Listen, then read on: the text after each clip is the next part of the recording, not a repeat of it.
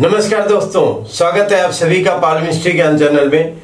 दोस्तों, आज की इस वीडियो में आपको हम बताएँगे कि मछली का साइन आपके हाथों पर क्या कुछ कहता है, किस पर्वतों के ऊपर क्या फल देता है। वैसे तो हस्तरेखा में इसका बड़ा विशेष महत्व माना जाता है।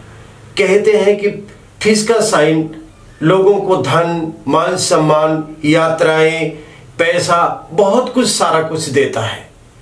तो इन्हीं बातों को अपने हाथ के विभिन्न पर्वतों पर इसका क्या फल देता है, आज इसको हम विस्तार रूप से समझेंगे। जैसे कि इस पर्वत पे क्या फल देता है एक एक करके इसकी हम गणना करेंगे। तो दोस्तों, इस वीडियो को आप पूरा देखें। इस वीडियो के माध्यम से आपको एक नई और रोचक जानकारी मिलने वाली है। और इसके पहले अगर आप लोगों ने इस चैनल को सब्सक्राइब से नहीं किया है तो कृपया चैनल को सब्सक्राइब अवश्य कर लो। और ये विषय अगर आपको अच्छा लगा तो वीडियो को लाइक अवश्य कर लें। आइए अपने हाथ की तीन मुख्य रेखाओं को देखते हैं।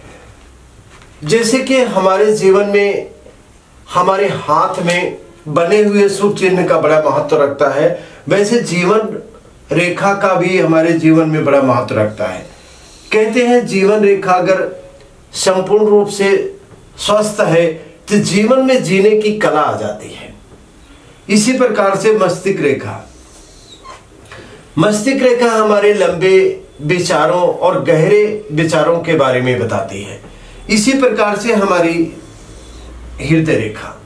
हृदय रेखा एक प्रेम संबंध को प्रदर्शित करती है। तो आज सबसे पहले हमने फ़िश साइन का क्या प्रभाव कौन से पर्वत पे देता है उसके प्रभाव के बारे में जानते हैं। जैसे कि फ़िश साइन यहाँ पे गुरु के माउंट के ऊपर। ये गुरु का माउंट है। यहाँ पे फ़िश साइन क्या कुछ कहती है? फ़िश जितनी बड़ी होगी, उतना फल में वृद्धि करती है। अब यहाँ पे गुरु के माउंट के ऊपर ये बना हुआ फ़िश साइन, इस जीवन की तरफ़ आकर्षित करती है कि ऐसे लोग ज्ञानी होते हैं। यहाँ पे पैसे से कोई लेना देना नहीं है। यहाँ से ज्ञान से लेना है धार्मिक से लेना है पूजा पाठ से लेना है। ऐसे लोग धर्म की किताबें पढ़ते हैं। अगर जिसके हाथ में फ़िश साइन गुरु के माउंट के ऊपर बनी होगी तो वो देखिए धार्मिक नेचर के होंगे। हर धार्मिक के, के अलग अलग ग्रंथों का अध्ययन करते हुए देखा होगा। अगर वो काफ़ी एज के हो जाते हैं। तो कई बार ऐसे लोग मंदिरों में सेवा भी करते हुए आपको दिखेंगे। और चाहे किसी भी धर्म का, किसी भी मज़हब का हो, अपने धर्म के अलावा दूसरे धर्म के मजहबों के, मज़हब की बातों को एक्सेप्ट करते हैं। उनकी नॉलेज और डीपली नॉलेज लेते हैं। ये प्रकार के ऊपर यहाँ पर बताई जाती है। और इसी प्रकार से ये मंगल के पर्वत के ऊपर। ये जो हमारा मंगल का एरिया है मंगल के पर्वत के ऊपर फ़िश साइन का बनना। ये फ़िश साइन, ये मंगल का क्षेत्र है। ये मंगल का क्षेत्र है। यहाँ पर मंगल के ऊपर प्रभाव बहुत अच्छा देखने को मिलता है। एक तो बॉडी को मज़बूत बना देता है। ऐसे लोग प्राकर्मी होते हैं, मेहनती होते हैं। ऐसे लोगों को अगर देखा जाए तो जमीनों का कारोबार करके और ऐसे लोगों के जीवन में अधिक धन की और संपत्ति का जो लाभ मिला है, वो जमीनों से मिला है। और ऐसे लोग अपने जीवन में ज़मीन को इकट्ठा करके, बेच करके उससे अधिक धन कमाते हैं। यहाँ पर इस साइन का इंडिकेशन मंगल के पर्वत के ऊपर सिर्फ़ ज़मीन के जुड़े हुए कारोबार से लाभान्वित करता है। और इसी प्रकार से ये शुक्र का माउंट है। ये शुक्र का पर्वत है। शुक्र के पर्वत के ऊपर अगर यहाँ पे फ़िश की साइन बन जाए, एक चीज़ का विशेष ध्यान रखना होगा, अगर यहाँ पर फ़िश साइन बनती है तो उसकी मूछ और पूछ दोनों होने चाहिए। तभी ये फल मिलता है। कई बार ऊपर से जुड़ी है, नीचे से कट जाती है तो ऐसे जो साइन है, वो फ़िश की साइन नहीं बनती। वो कंफ्यूजन की स्थिति क्रिएट कर देती है।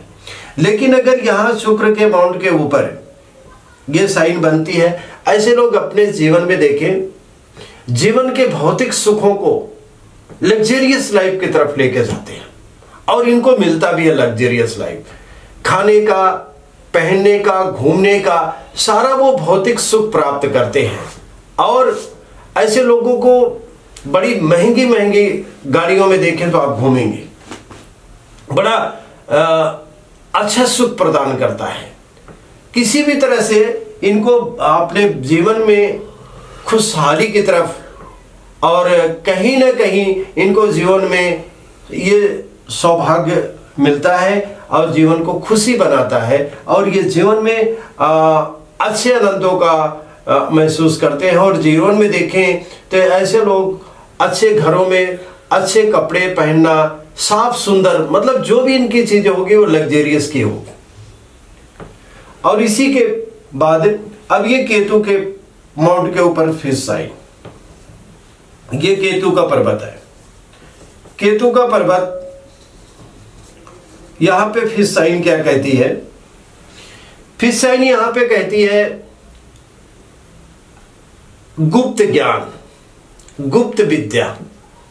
ऐसे लोग अगर आप देखें तो ज्योतिष को, पालमिस्ट्री को कीरो को मतलब ज्योतिष से जुड़े रहस्यमय विद्याओं को, जिसको गुप्त ज्ञान कहते हैं, ऐसे लोग भारत हासिल करते हैं। पीएचडी लेवल की डिग्री प्राप्त करते हैं। यहाँ ज्ञान से मतलब है पैसे से नहीं लेना देना है, सिर्फ़ यहाँ अकल साइन में जितनी भी हमारी ये गुप्त विद्याएँ हैं, उनमें एक तरह का बहुत तगड़ा अध्ययन करते हैं और जीवन में ऐसे लोग सार्थक भी होते हैं, जीवन में अग्रसर होते हैं, लोगों में एक नेम फेम पाते हैं। ऐसे लोगों की जो नॉलेज होती है बड़ी और अच्छी डीपली नॉलेज होती है और ये एक प्रोफेसर के तौर पे यहाँ पे नियुक्त माने जाते हैं और इतना बड़ा नॉलेज रखते हैं कि लोगों को अपने इसी ज्ञान के माध्यम से लोगों का जीवन सुखमय बना देते हैं। और इसी तरह से ये चंद्र पर्वत है। इसको हम चंद्र का पर्वत बोलते हैं। चंद्रमा का पर्वत। चंद्रमा के पर्वत के ऊपर जो कहते हैं ना, जल तत्व। है वैसे तो जीवन में बड़ा सुख प्रदान करता है। जिसका मन सुंदर, सुशील हो, जीवन में चंचलता ज़रूर आती है। और यहाँ पे इसी कुछ चीज़ों को व्यक्त करती है। मन की गहराइयों को, मन की एकाग्रता को। मन मस्त है, जीवन में जैसे पच मछली होती है, कहते ना, मछली जल की रानी है तो ये कीड़ा करती है। किस चीज़ की कीड़ा? यात्राओं के लिए। आपको विदेश घूमने का जीवन में एक बार नहीं, कई बार आपको ये लाभ दिलाती है। यात्राओं का लाभ दिलाती है।